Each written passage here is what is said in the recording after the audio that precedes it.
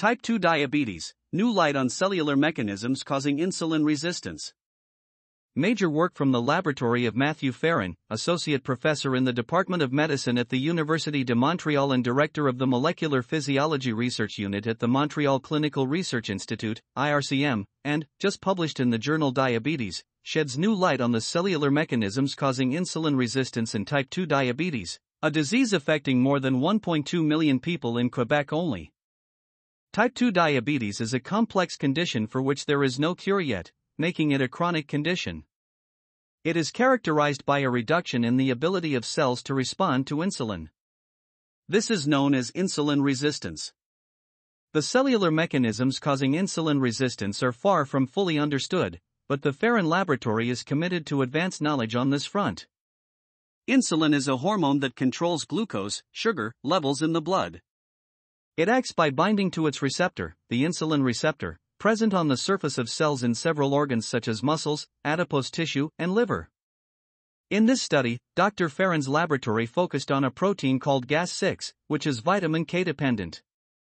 Previous studies had suggested that in humans, circulating levels of GAS6 were positively associated with insulin resistance and type 2 diabetes.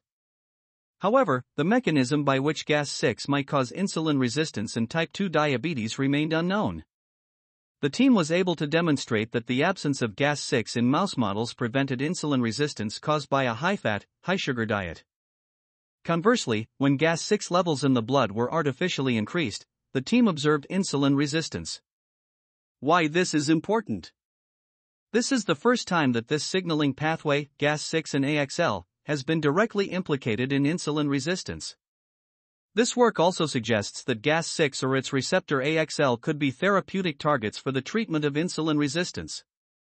In detail, like insulin, GAS6 acts on cells via a receptor called AXL. This work shows that AXL is not only present in muscle cells but can also bind to the insulin receptor in these same cells.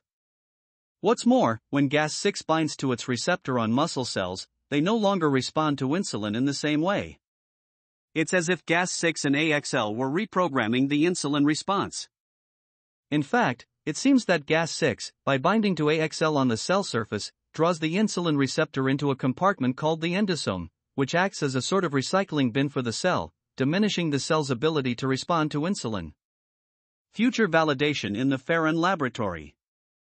Dr. Ferron's team intends to test the effect of molecules that can block AXL activation by GAS6 in diabetic mouse models. This could lead to a new approach to the treatment of type 2 diabetes. Behind this work, this research was carried out in the Ferron Laboratory by doctoral student Celine Schott, master's student Amelie Germain, research associate Julie Lacombe, and research assistant Monica Pata. Other collaborators include Dennis Faubert and Jonathan Boulais, Proteomic Analyses, Peter Carmeliet, KU Leuven, Belgium, and Jean-François Côté, researcher and director of the Cytoskeleton Organization and Cell Migration Research Unit at IRCM. This work was funded by Diabetes Canada and the Canadian Institutes of Health Research, CIHR.